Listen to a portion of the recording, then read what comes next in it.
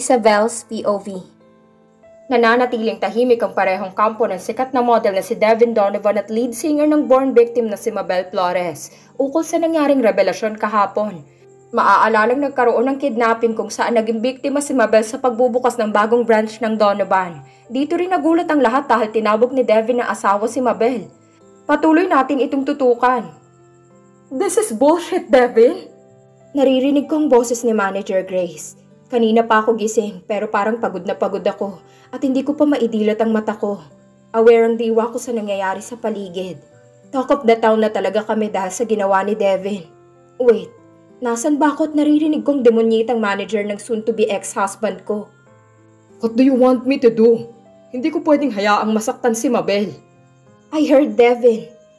Wow! So para maligtas lang ang walang kwentang babaeng yan, ay hahayaan mong bumulusok ang karir mo? I don't give a damn about that. You know that I don't need it. Let's talk outside. Baka magising si Mabel. Tumaas na din ang boses ni Devin, kaya nagawa ko ng idilat ang mata ko.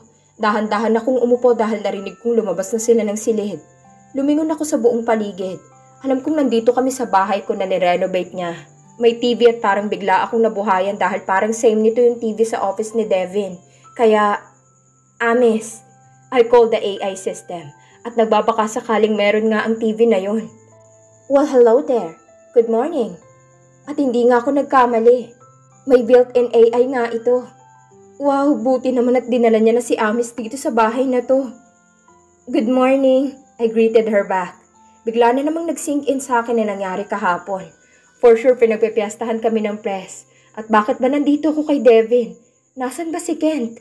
Mabilis na hinanap ng mata ko ang cellphone ko at maswerteng nakita ko yun sa side table. Dinampot ko yun at halos lumabas ang mata ko sa dami ng missed calls at text doon. I just ignored it all. Mga taong gustong makisawsaw sa buhay ko dahil lang sa nangyari kahapon. I scrolled to my contacts at tinap ang name ni Kent at tinawagan iyon. Nakakaisang ring pa lang ata nang mabilis na sinagot yun ni Kent. Isabel, where are you? Okay ka lang ba? May masakit ba sa'yo? Si baby. Okay lang din ba siya? Nasaan kayo? Alam na ba ni Devin? Alam mo ba kung saan kanya dinala? Parang kotseng walang prenong pagtatanong sa akin ni Kent. Calm down, Kent, sabi ko. Narinig kong paghinga niya ng malalim. Sorry, sobra nag-aalala lang ako. Hindi ako nakatulog. Can you just tell me where you are? Kung safe ba dyan or do you want me to fetch you? Tanong niya ulit. Natuwa naman ako. Napakabait talaga ni Kent. Lagi niyang iniisip yung kaligtasan namin. Okay lang naman ako, kakagising ko lang. Gusto ko sana na sunduin mo na ako. Ayoko din naman magstay ng matagal dito. Ite-text ko sa'yo yung address, sabi ko. Fine, i-text mo agad ah at pupunta agad ako. Sabi niya. Sige, mag-iingat ka sa pagdadrive. Bye. Bye na. Sabi ko at ini-end na yung tawag. Mabilis ko naman tinype yung address ng bahay na to at sinend yun kay Kent. Ano pa bang purpose ng pagsistay ko dito? Maghihiwalay na kami ni Devin, kaya hindi ko alam kung anong tumama sa ulo niya para sabihin pa sa madlang people na kasal kami. Ano na kayang sinasabi sa akin ng mga tao ngayon? Amis, search for... Hindi ko alam pero dahil siguro kakagising ko lang ay sa bawang utak ko. At parang nahihirapan ako i-translate ang basic Tagalog words sa English. Search for what? Amis asked me. Search for, um, um, Martina Isabel. Hindi ko alam pero wala talagang pumapasok sa utak ko. Ano bang English ng chismis? Naku, pag nalaman ni Papa at lahat ng English teacher ko na nabobobo ako sa English, malamang itakul na nila ako. Ah, uh, controversy na lang ang idudugtong ko. Pero bago ko pa maidugtong yon ay showing Martina Isabel. Sabi ni Amis, kaya wala na akong ginawa kundi hayaan siya. Nagulat ako nung mag-play sa TV yung video ko noon sa bar, nung nagsisimula pa lang kaming maging mag-asawa ni Devin. Ito yung kinakanta ko yung symphony eh. Pero bakit meron ito si Amis? For sure wala naman to sa Google. Amis, why are you showing me this video clip? Tanong ko.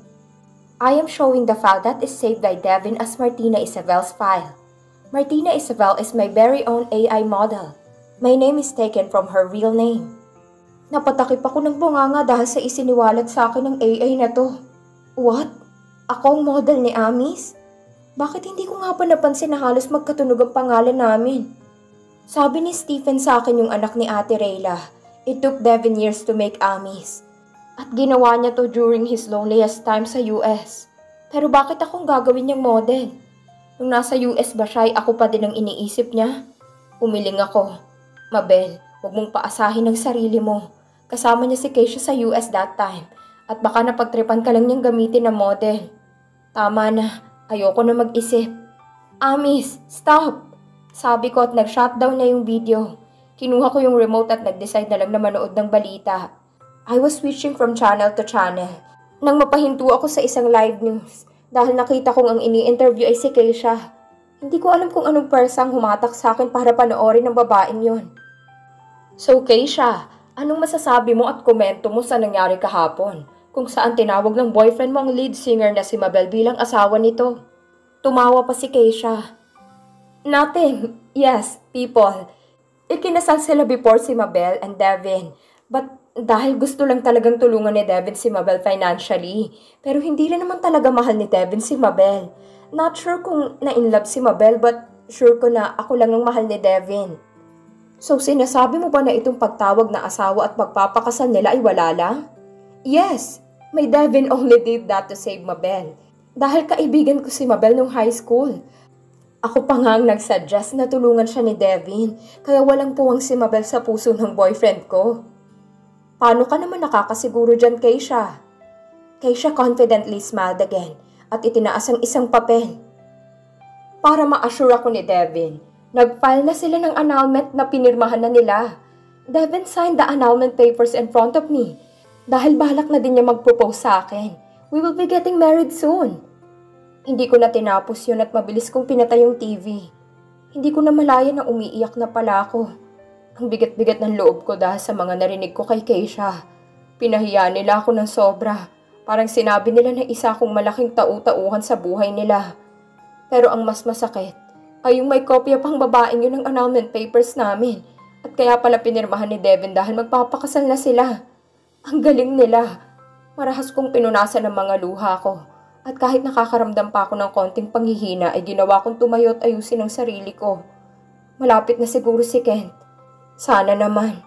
Tumayo ako at mabilis na lumabas ng kwarto. Bumaba ako at nagulat ako nang makitang nasa baba din si Manager Grace at Devin. Gising na palang mahal na Reyna. Sarcastic na sabi sa akin ng manager niya. Huwag mo akong subukan. Hindi maganda ang araw ko. At baka hindi ho kita matansya at makalimutan kong matanda ka. Sabi ko at tila nagulat siya dahil sumagot ako sa kanya. Devin, aalis na ako at pilit kong re-resolbahin ito. Sabi nito at sinamaan pa ako ng tingin bago lumabas. Mabel, bakit bumangon ka na? Tanong sa akin ni Devin. Uuwi na ako. Mariin kong sabi. Mabel naman, makinig ka naman. Baka mapano ka pa niyan. Sabi niya tinawakan ako sa braso, pero mabilis akong pumiglas. Don't touch me! Sigaw ko sa kanya. Huwag mo akong hawakan dahil nandidiri ako sa'yo. Mabel, hindi ko mapigilan ng magbagsakan ng mga luha ko. Akala mo ba nakakalimutan ko na yung nangyari last year? How you chose that woman instead of me? Na kahit na nawalan ako ng alaala at lumayo ay nanatili ka sa tabi niya at pinabayaan mo ako. Mabel naman, God knows how much I wanted to stay with you. Sabi niya, Wow, Buti pa ang Diyos alam na ginusto mo yon.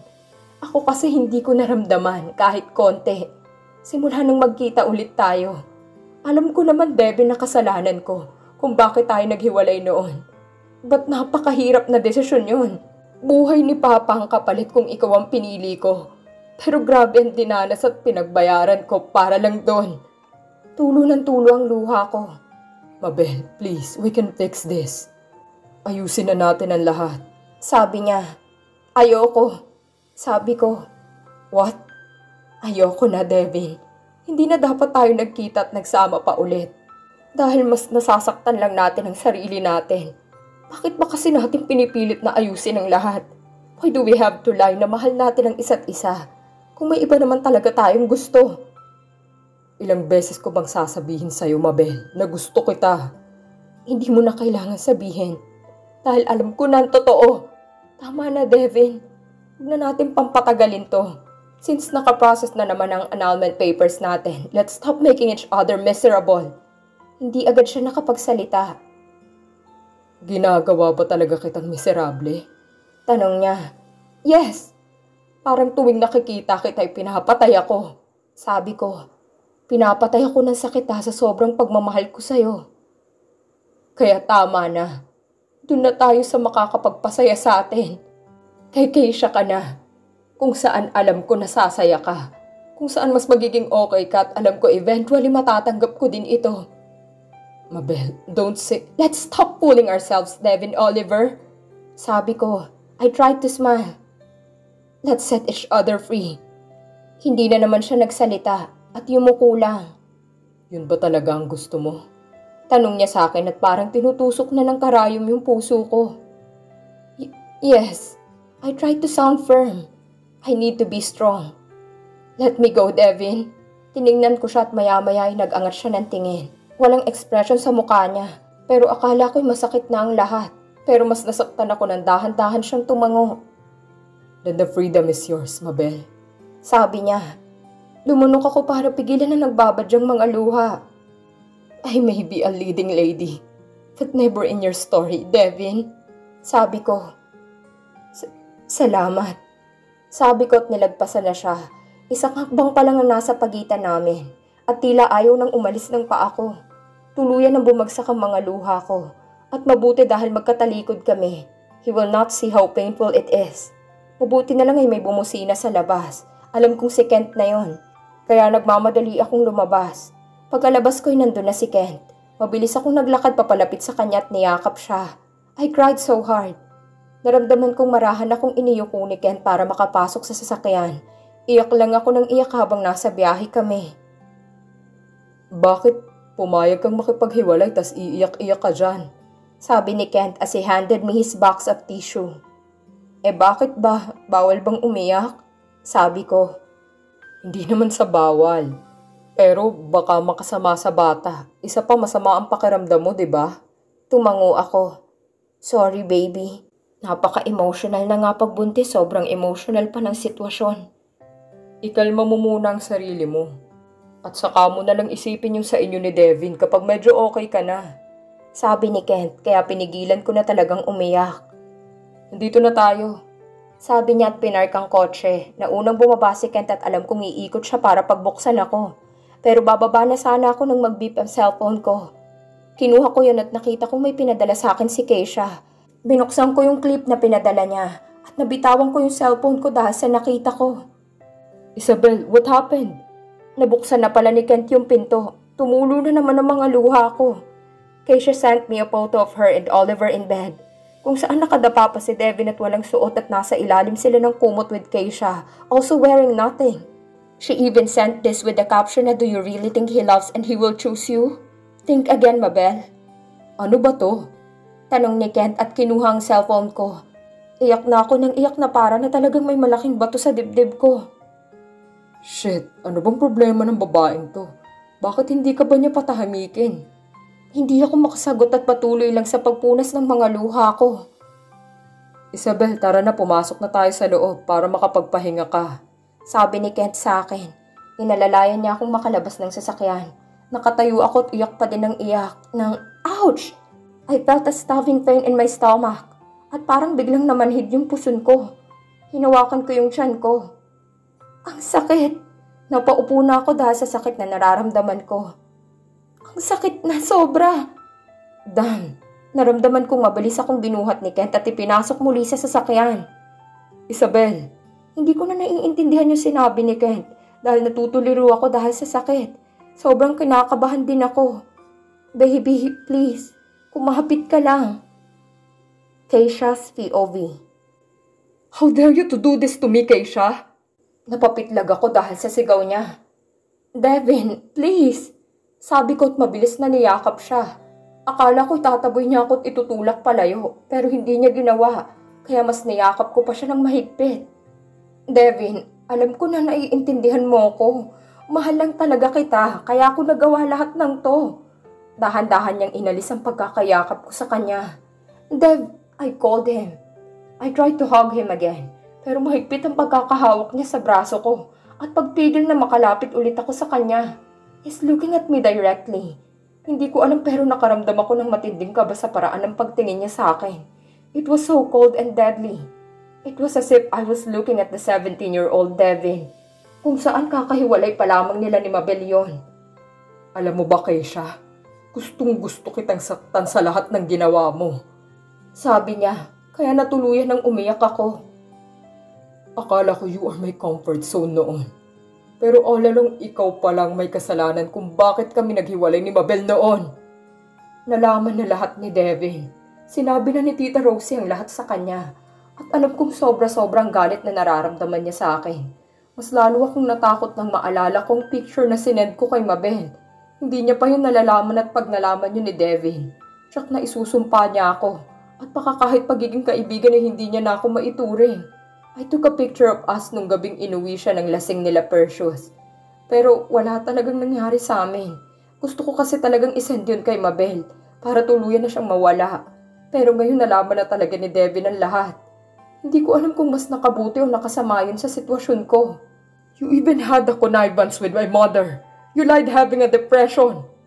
Hindi ko alam na gagawin mo yon dahil alam mo nagkaroon ako nung akala kong iniwan ako ni Mabel and you used that para paghiwalayin kami sa pangalawang pagkakataon. What's going on with your mind? Hindi ganyan ang Keisha na nakilala at nakasama ko. Sigaw niya sa akin. Dahil nga, mahal kita, Devin. Mahal na mahal kita. Kaya ayokong mawala ka sa akin. I shouted back at him.